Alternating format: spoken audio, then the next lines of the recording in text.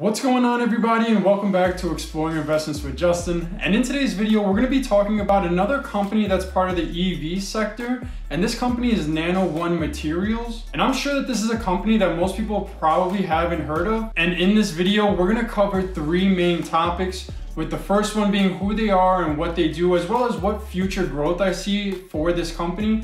The second thing is the financials because you always want to look at the health of a company as well as the revenues and profits. And the third and final topic we'll be talking about is what I personally think about this company and whether or not I'll be starting a position in them. So be sure to stick around to the end of the video and let me know in the comments section what your thoughts are on Nano One Materials and be sure to smash that like and subscribe button because it really does help out the YouTube channel and I will be putting out more stock analysis videos similar to this one. And real quick before we jump into today's video, I do want to let you know that the first link in the description will be a link to the Discord chat. So be sure to check that out as we now have a community going and you can request videos on there. So be sure to check that out if you have the Discord app. And with that being said, let's jump right into today's video.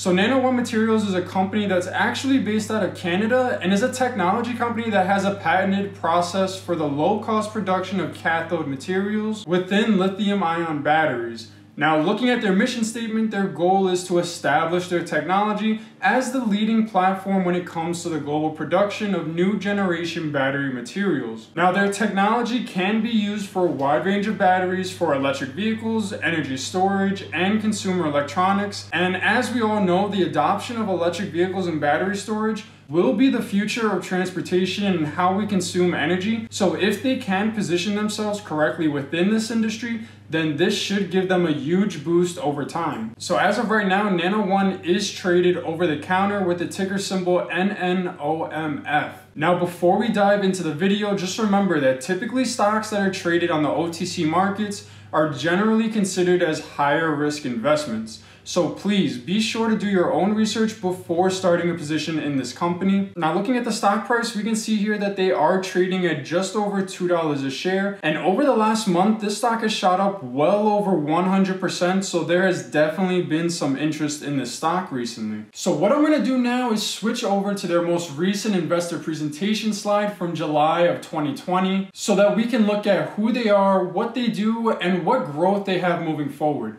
So let me know in the comments section if you guys like the structure of this video where I cover first who they are, then the financials, and then what my opinion is. So as we know, Nano One is positioning themselves to be the leader in cathode production technology, and this industry is projected to be worth $23 billion by 2025. Now currently, Nano One has 16 patents with over 30 more patents pending, so they are in the process of protecting their intellectual property when it comes to their technology. And the great thing about these patents is that it presents a $1 billion licensing opportunity which has the potential to really help provide some serious revenue and could help accelerate the growth for this company. Now, Nano One has also been able to land several strategic partnerships that I believe will help them grow tremendously. So in my opinion, the most important partnership is the one that they have with Volkswagen. And as we all know, Volkswagen is one of the largest automakers, and they've actually made it a goal to have 22 million electric vehicles on the road over the next 10 years. Now, if Volkswagen can meet this goal, this this could provide Nano One with a steady revenue stream for several years to come, which is a big deal given that they currently have no revenue. And I'll get into that in just a minute when we look at the financials, but if Nano One can help improve the life cycle and range of batteries in Volkswagen vehicles, then I could see this turning into a much longer partnership because range and durability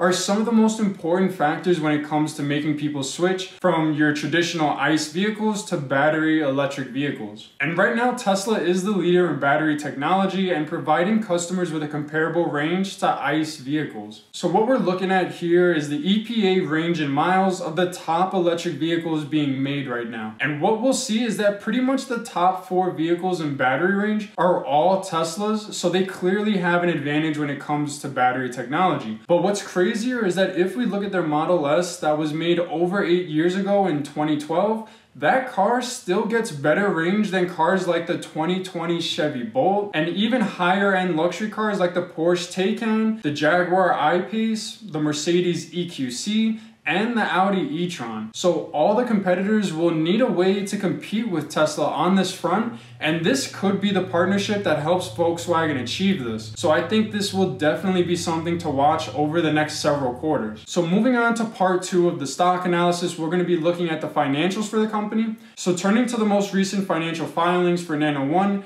we can see that as of the end of June, they had almost $9 million in cash and cash equivalents, with over $10 million in current assets. Now this is extremely good compared to their current and long-term liabilities, considering that they only have $367,000 in total liabilities. So this would give them a current ratio of over 40, which gives them more than enough room to keep investing in the company without having to worry about paying off liabilities. Now the downside of the financials comes when we look at the income statement. As of right now, this company is bringing in zero revenue, which is never a good thing when you're you're looking to invest in a company. And with no revenue coming in, they are currently losing just about three and a half million dollars each quarter. Now there is some good news because it does look like they're starting to decrease that quarterly burn rate, but still, at a three and a half million dollar burn rate, they only have enough cash to get them through the next four quarters so they'll either need to raise money or get more government grants to sustain operations longer than another year with no revenue. So they may end up having to dilute shareholders even further to keep funding the business. So this is definitely something to keep in mind if you're thinking of starting a position in this company. So if you made it this far into the video, be sure to let me know in the comment section down below what your thoughts are on Nano One and whether or not you'll be starting a position in them. Now personally, I'll be waiting to see how they execute because they currently still have no revenue and are still not profitable. So I would like to see how the leadership team executes on their plan to profitability which we'll take a look at right now. So that is the good news that Nano One is giving investors a path to profitability, with 2021 being the year they break even and 2022 being the year they finally start to bring in millions of dollars in profits. But of course, this is just a plan, so we'll have to see if they can execute on it. Now, I do think they're in an industry that will continue to see strong growth moving into the future because we are seeing a shift in society to battery electric vehicles and cleaner energy. So I do see massive upside in this stock, especially given that they only have a market cap of around 200, 250 million dollars. I'm just still not convinced that they'll be able to execute and bring in profits for investors. So this is a company that I will have on my watch list and I will be keeping an eye on. So make sure to let me know if you guys want me to do an update video on this company and any other companies that you'd like me to cover. So with that being said, I just want to say thank you guys for watching. Be sure to hit that like and subscribe button because it does help out the YouTube channel a ton. And I will catch you guys on the next one.